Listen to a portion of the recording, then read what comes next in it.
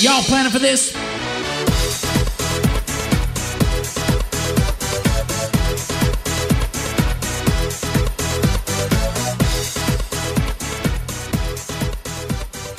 Hello, everyone, and welcome to another episode of the Perfect RIA podcast. I am your host, Matthew Jarvis, and with me today is not Micah, but rather my brother, Steven Jarvis. Steven, how are you today? I'm doing really good, Matt. Thanks for having me on the show. I love it. We're actually recording this in person. Steven and I are actually doing some meetings with my team at Jarvis Financial. We're doing some meetings with some other CPA firms that we're working with, and so we had this chance to uh, record this together. Yeah, it's always fun to be able to do these in person. You kind of lose sight of just all the stuff that goes on in such a virtual world, but it's, it's fun to sit across the table and try try to figure out where my camera normally would be and my microphone. It's it's good. Uh, but today we want to talk about a couple of things. One, of course, being the importance of being able to take tax knowledge and apply it in your practice. Steven, this is something I struggled with for years in my practice. I knew all this tax knowledge, I'm reading all this tax code, but I couldn't figure out what to do with it. I just sort of knew about intentionally defective grantor trust. I could never figure out when to actually use them. Yeah, it's an interesting balance of trying. I mean, p- people come to a professional of any kind because they want help with a complex area, and taxes are certainly complex. And as we were kind of pre-gaming for this, it also made me think of why so many tax professionals struggle to get involved in tax planning. Mm-hmm. Uh, when it's hard to identify where you should be or how that balance should work, it's easier to just ignore altogether. And so we talk about complex tax planning issues. For tax professionals, we want clear, perfect answers. We want to get to the mathematically optimal outcome, yes. whatever whatever that means. And so it can it can feel almost a little bit disingenuous to try to pull back and simplify things and take out all the detail to just get people to take action. But at the end of the day, Matt, you talk about this all the time. I mean, action's the only thing that counts. Yeah. Well, and it kind of, I know we poo poo on this show and other shows that tax preparers get a myopic focus on just reducing this year's tax bill. But if we step back for a second, that's a really quantifiable thing to do. We can really mm-hmm. easily point to if, hey, if you can find me a few more receipts, we can lower your tax bill by $12 for a certainty.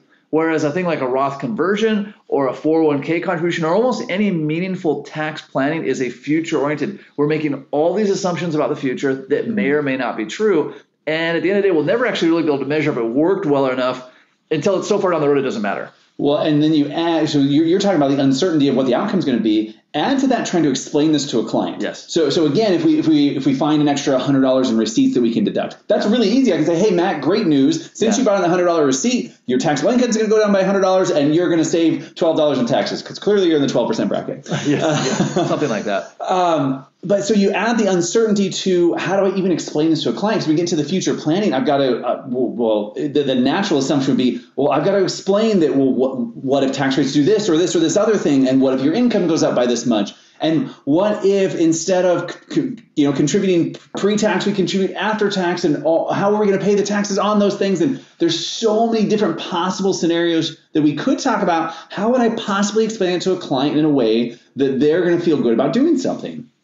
But this brings up an important point. When you're studying to get your tax knowledge, right? And we spend a lot, you and I independently spend a lot of time studying taxes. As an advisor, you really want to focus your study around the things that impact your clients. And so, mm what tends to happen is you go to a tax presentation or a tax conference, and we're going to talk about the RTS tax conference that's coming up, but typically you go to them and they're trying to give you as much sexy and interesting information as possible that doesn't apply to your clients.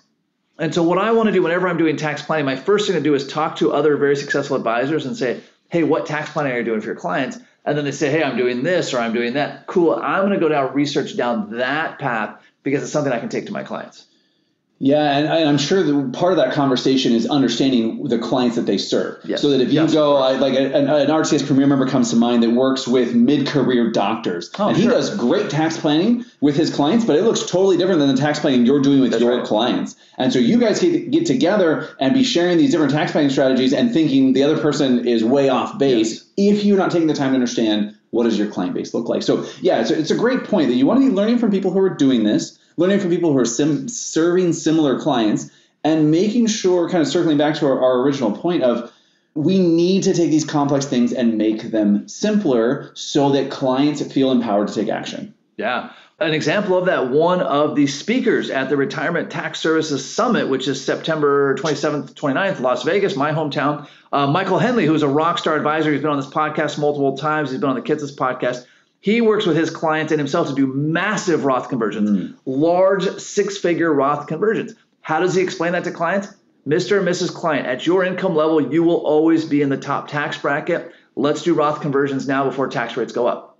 End of discussion. No Monte Carlo analysis, no 30 year projections, Yeah. no talking about the expiration of the TCJA. Just you are in a top tax bracket now. You will always be in a top tax bracket. Let's do Roth conversions. Yeah, and for his client base, that makes a ton of Yes. sense. It works all day, and it gets to just the piece that they need to know to take action. He he certainly could. Michael's a really smart guy. Very smart He guy. could go. He could do all the charts and graphs and color coordination and get into all the details and nuance and spend three hours with one client explaining all the details. But the outcome would be the same. Yes.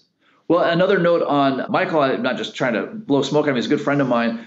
I'm on a personal text string with him because we are in a personal mastermind together. And even just the other day, he's texting saying, Hey guys, I want to make sure that I understand this particular nuance of the tax code and I want to know how you're explaining it to clients. So again, he has a phenomenal practice, very deep knowledge. He's still going to his peer group saying, Hey, how are you explaining X, Y, and Z to your clients? Well, Matt, I'd be I'd be curious to hear your thoughts on this, and this is a question we'll have to put to another one of our guest speakers, uh, Layla Schaefer, who is uh, an Yes. attorney that works with uh, with advisors on doing things in line with compliance.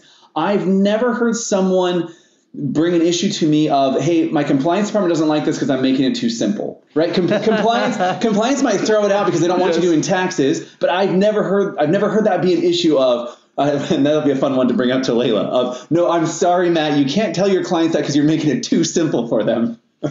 Yeah, yeah. I mean, I'm trying to think of how, to some extreme, we could take this. And I think the only place you'd risk it is if you said, "Hey, it's this simple, and don't ask your CPA about it." Yeah, So I'm just trying to think of the only way you could carve that out because I want to make it. I want to start as simple as I possibly can, and then add layers of complexity as needed. Yeah. Right. So if we're doing a Roth conversion the first time, I want to talk just about Roth conversions.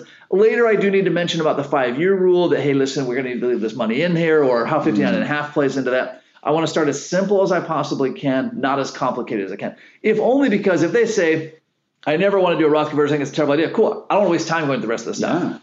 Yeah. Well, and you're alluding to a couple of important things in there that I think that as we talk about this, as you and Micah talk about this, it's really easy to kind of gloss over some really important details of what is that action plan. And we, we've already mentioned a couple of times, but we're doing this RTS Tax Planning Summit in September 27th through 29th. It's to be in person in Vegas as well as a virtual uh, element to it.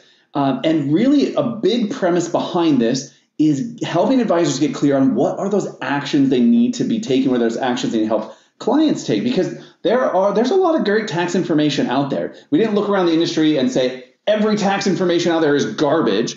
We said, hey, what's missing are these really clear action steps. So we put together a conference to address that. And so we're bringing together all these advisors, these experts who can not just speak to here are the details, but here's when you're going to do it, here's how you're going to do it, here's the pieces you can delegate to your team so that people who leave this conference will have a clear action plan of things they can go Yeah. home the next day and implement in their practice and what their 2024 tax planning calendar looks like. I love that. Of course, another speaker who's going to be there is, is our good friend Micah Shilanski. One of my favorite things to do with Micah whenever he and I are out and we're talking to small business owners is while we're talking to whatever service they're providing for us, we start running through their taxes and we find them at least $100,000 in tax savings. And then we say, listen, you shouldn't charge us. In fact, you need to pay us the delta. You were going to pay, uh, charge us 23000 We just found you $100,000 in tax savings.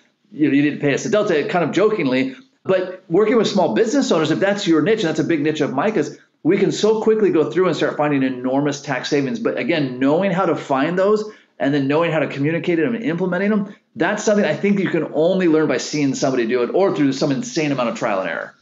So, taking another example of the, this concept of, of, of how simple can we get, because I, I've seen advisors push back on that and say, wait, we've got this obligation to explain the details to the client. And the recent one that came up is uh, someone pushing back on using the phrase, well, would you rather pay, Oh. uh, would you rather pay tax on the seed or the harvest? And Sure. say, okay, that's too simple. You've got, you've got to go into more details. And Matt, you've already talked about, hey, let's let's start on the simple side, and then as questions come up, uh, then, then we're going to go into more detail. But I I mean, are there examples that come to mind for you of, or, or do you think there ever is this danger of we've gotten too simple? I, I, I mean, I hate to get deep into hypotheticals. I'm trying to think of real life ones. Yeah. Uh, a good advisor friend of ours, he would always say, Mr. and Mrs. Client, would you rather pay $10,000 in taxes today or $20,000 in taxes at some future date? Client immediately says, I'd rather pay 10000 today. Yeah. And so he shows him and says, well, you know, and his logic is, hey, at some point your IRA is going to double in value. Maybe that's 10 years, maybe that's 20 years. I don't know. That's not really the point. Do you want to convert it now at the current value or later? Now, again, our technical advisors would say, wait a second, what about the time value of money? What about the inflation rate? What about real dollars versus nominal dollars?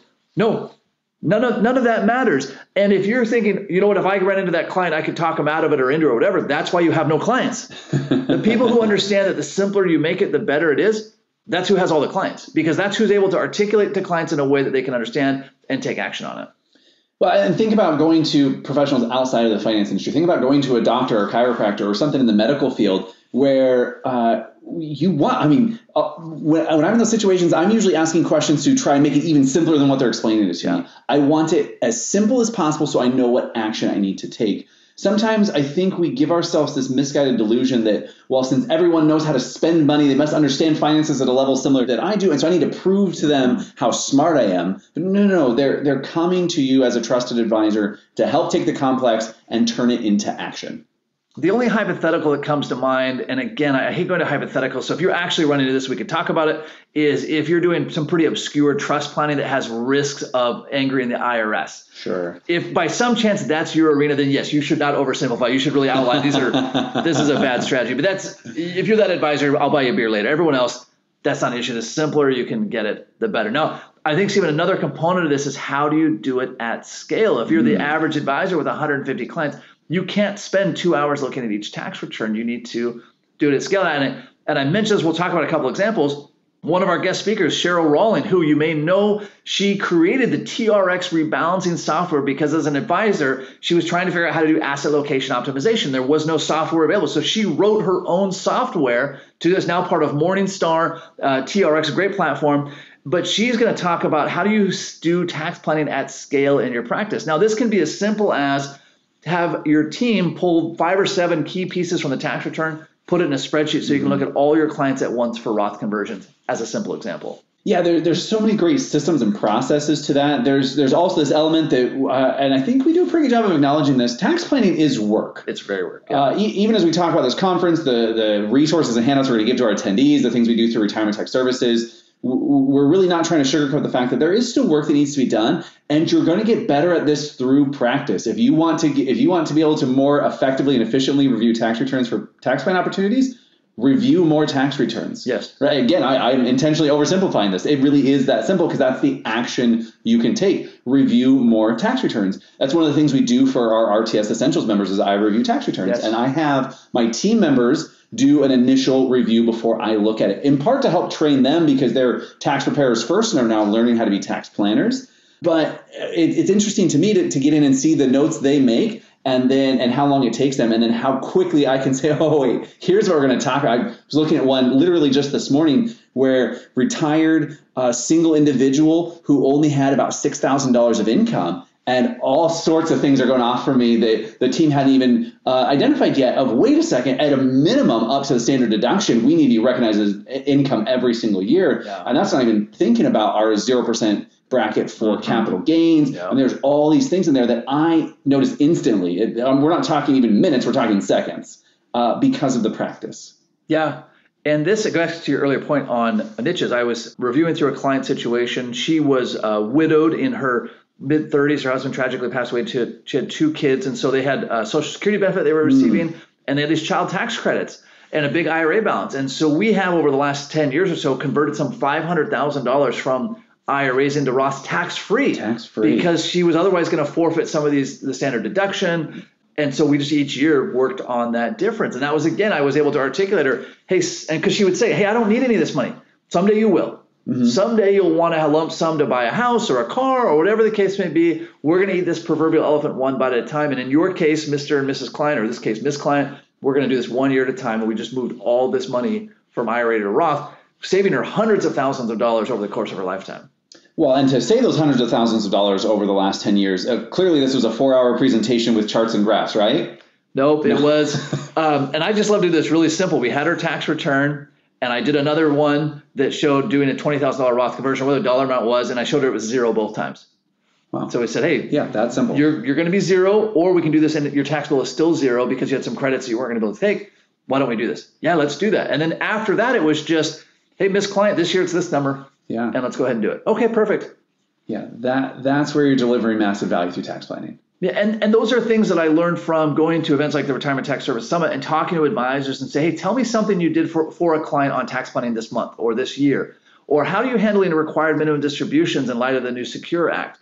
In fact, Steven, on that note, on our team, we recently, a few weeks ago, reached out to all of our clients that were age 68 and older and anybody that had an inherited IRA account, because of course the rules changed on both mm-hmm. of those. And you might think 68 or older. Why? Well, they're thinking about 70 because yep. that's when yep. everyone still thinks RMD starts. And you can decide how much you want your practice to go by how much value you deliver. Generic would be to do nothing. Mm-hmm. Hey, you're not the taxpayer, it's not your job. Next level would be to send a generic email to all your clients saying, hey, the rules have changed and here's the 10 things you should be aware of or forward something. That's better than nothing. Yeah. Next level after that, level after that would be a generic video. Mm-hmm. Bomb, bomb, bloom. Hey, everybody. The next level after that, which is what we did, Dave and Sue. Just wanted you to know there's been some changes in the tax law. We're on top of those. In March, when we get together for Surge, we're going to talk about it in more detail. Until then, please remember these three things. Have a great day. That kind of next level is where referrals come pouring in. Yeah. Well, and again, for your client base, focusing on the RMDs was what was most, us, yeah. was most relevant. For other advisors, they might be highlighting the fact that there's all these rules changes to 401k plans. Yes. Maybe it's highlighting the fact that a matching contribution can now finally actually be Roth dollars. And this is one I like to bring up to advisors. I, I know that Secure Act 2.0 isn't that old, but one of the things I immediately started looking for was where is confusion going to happen? Mm-hmm. And these Roth matches is a huge area for confusion and possibly frustration and pain because the thing that is being left out of a lot of the headlines that I'm seeing or the, a lot of the, the social media posts and, and short articles is making sure you're reinforcing to clients that hey that's great that your employer is putting those dollars into roth that's taxable income for you and that's taxable income that didn't come with cash flow yes. now i love a big roth balance it might still be the right decision to get that into roth and to pay the taxes but if i'm not expecting that that match increased my taxable income, my tax bill by thousands of dollars potentially, yeah. that's going to come as a nasty surprise at tax filing time. Yeah, this transitions nicely into prospecting. So let's stay with that 401k example. Any prospects I have, or again, small business owners is my thing, or 401k plans in general, if I'm seeing, if I'm at a networking event, if I'm wherever, I'm gonna say, hey, Dave, I bet you're, I'm sure your guys talking to you about this, but have you guys thought about the unintended consequences of doing Roth matches? No, we haven't. No one's mentioned that to me. All right, well, if you ever are curious about that, I'd be glad to chat with you about it. Again, I don't need to know everything about it, but if he says, my guy didn't talk to me about the phantom tax that comes with doing Roth employer contributions. Oh, shoot. All right, I better go talk to Matt about this and figure out what's going on. Well, and the way you explain that is why I'm so excited that we put together this tax planning yeah. summit and that we've been really intentional about who we're inviting because we're not just inviting people who can come and tell you the rules. We, are inviting people who can come and share these really important nuances because the way you phrase that is really important. That whole, hey, I'm sure your guy's talking about yes. that that that's that's a way to present it that's not going to put somebody on the defensive. They're not they're not going to say, oh well, my guy. If you come and say, hey, your guy's probably screwing this up. No, my guy's great. I like him. He's my friend. He's my brother-in-law. Whatever. But by by being really intentional about our wording, that's where we get people to take action. Whether that action is following through on a tax strategy so they save money, whether that action is bringing you on as their financial advisor, if this is a prospecting process, those words matter. Yeah. Uh, related to that would be, or someone on that path would be the new rules for 529 accounts going into Roths. Man, I'm reaching out to every client that has a 529 account and then any clients who have grandchildren saying, hey, listen, we need to really look at opening this 529 account and let it start seasoning with this 15 year rule. Now, there's a lot of things we don't know yet, but there's not a lot of harm in saying, hey, let's just open one of these, start the clock ticking. Maybe we'll pull the money back out, not a big deal. Maybe we'll leave it in there and turn it into a Roth someday. But it gives me a reason to reach out. And again, it goes to, hey, I'm sure your guy told you about the new 529 rules, but if he didn't, give me a call. What new rules? Oh, you can turn them into a Roth IRA. But I don't have to say that, well, 15 years and it has to season and we're not sure about the beneficiary and there's 40 months. I just need to get that ball rolling. Yeah, you want to you want to be that person they're going to come to with the questions. Uh, eh, the other thing I would throw out there is that when something like Secure 2.0 happens, sometimes it can feel like, well, that's dominating all the headlines, all the biggest publications are covering it. There's no room for me to do something different or add value to my clients. And that's just absolutely not true, especially when something big like this happens and people are so reactionary and they want to be the first one to publish something mm-hmm. on the 529 plans. Saw an article just this week the the headline made it seem like you could put everything into a Roth. That, that now suddenly all of these 529 plans that were they basically alluded they were garbage before, and now they can they can all magically be into Roth, and this is such a great solution for creating Roth accounts for your kids. No mention of the fact that to get the money into the Roth account, you need earned income, and this counts towards your contribution limit for Yeah, the year. yep. This is not this is not the same as converting from traditional IRA to Roth IRA. It's a whole separate set of rules we can't think about in the same way. Yeah, there, there's so many different areas. Now, again, we we've just rattled off a dozen of them, which is a dozen out of I don't know maybe 500 that we can go through. you don't need to know that many. You just need to have a couple that you can go to on a routine basis, whether that's QCDs, whether that's now 529 accounts, 401k plans. Right? There's just kind of go-to things that you just need to be really well versed on. I, again, I don't. I joke about intentionally defective grantor trust. Unless that's your niche, stay away from that. Even Roth conversions, you need to know enough to be able to communicate it effectively. You can always bring in the big guns, especially if you're an RTS member, if you need them. Matt, there's so, so so many good things in there. My my my mind's already already racing ahead to this conference in the fall and how we're going to make sure that advisors don't just come and hear some great presentations, but they leave empowered to take action on these things. We're going to make sure that people are identifying these actions as they go. We're not going to leave it up to chance to, to hope that somebody a week after the conference is taking action. Yeah. Uh, one that comes to mind because we talked about this with our small business owners. We always ask them, "Hey, are your children on the payroll?" Which can be a really powerful strategy, but you need to know how that strategy Yeah. works, right? And that's a whole episode on its own. But when we say, "Well, what's reasonable compensation?" I don't know. What's the Screen Actors Guild paying for models? So there's these things that you can know for your niche that make an incredible difference, even if they decide, you know, I don't have the cash flow to put my kids on the payroll, even at the Screen Actors Guild, and I don't want to do these things. The fact that you're the first one that brought that up puts you head and shoulders above everybody else they've ever talked to. Absolutely. It's all about being intentional. Well, Steven, let's talk about some action items because, of course, this podcast is all about taking action. I'm always surprised when there's podcasts not about action. In fact, Mo- when I- Most of them. most of them. Uh, in fact, I'm always a little disappointed when I get to the end of someone's presentation and they don't have action items. So I'm like, what? I got to figure out my own action items. Are you serious here? But uh, let's talk about some action items. Of course, selfishly, the number one action item would be to go to the Retirement Tax Services website and sign up for the September Tax Summit. I'm going to be there. Of course, Steven, you're going to be there. It is going to be a lot of fun, as nerdy as that sounds, but it's also going to be super productive. So sign up for the Retirement Tax Services Tax Summit, and uh, we'll certainly see you there. Yeah, retirementtaxservices.com. It's going to be a fantastic event. We have a great uh, video production team that's going to be there. So the virtual option is going to be high quality. But to your point earlier, Matt, where you learn so much from these conferences is getting to come and interact with people. So retirementtaxservices.com, get signed up, come see us in Vegas. We're going to have a great time. I would say action item number two is to know the three most effective tax strategies for your niche. These don't necessarily have to be the ones that are the sexiest or the ones that even have the biggest dollar amount, but the, the ones that are the most effective, the most commonly used. Know how to illustrate that on a piece of paper with a crayon. I'm not even kidding. You should literally be able to illustrate whatever your top tax strategies are with a crayon on a piece of paper. Matt, the other action I'd throw out that I think fits in with what we're talking about today is you have to practice. Yes. Whether whether you're new to this, whether you've been doing it for 20 years, the rules are always changing, the strategies are always changing. You need to practice. It's not just that first time of going through and figuring out how to write this in crayon. Whether it's to your your team members, it's on your own tax return. Uh, you, you've got to you got to get the reps in. Any professional who wants to be at the top of their game has to be getting the reps in. Yeah, that's a really great point. I love practicing on my team members. One, because I want them to be aware of the strategy. Mm-hmm. It also lets me know right away if I've been talking to Steven too much and I've got not just you personally, but if I'm talking on a nerdy academic level versus how people can explain it. I love to explain it to my teenagers. One, because I want them to learn how this stuff works. Two, it drives them crazy. And so I really have to be compelling on how I explain this, or they're just going to zone me out. And, and again, it, I, I, this is not to be disparaging to clients. It's just it's not their level of expertise. Again, imagine you go to the doctor and the doctor instead of telling you to take an ibuprofen, he tells you the the official scientific name of ibuprofen, and like I don't even know what the heck that is. Oh, it's ibuprofen. Why didn't you just start with take two ibuprofen? Yeah, or it tells you the milligrams instead of the number of pills Uh, or whatever right. it is. Yeah, any of those things. And so look for those, how to make them as simple as possible. Uh, last but not least, be sure to check out the Retirement Tax Services podcast, Steven, that you've got uh, great episodes. I really love that show as well. It's one of my go tos. And uh, as always, until next time, happy planning. Happy tax planning. Hold on before we go need to know. This isn't tax, legal, or investment advice. That isn't our intent.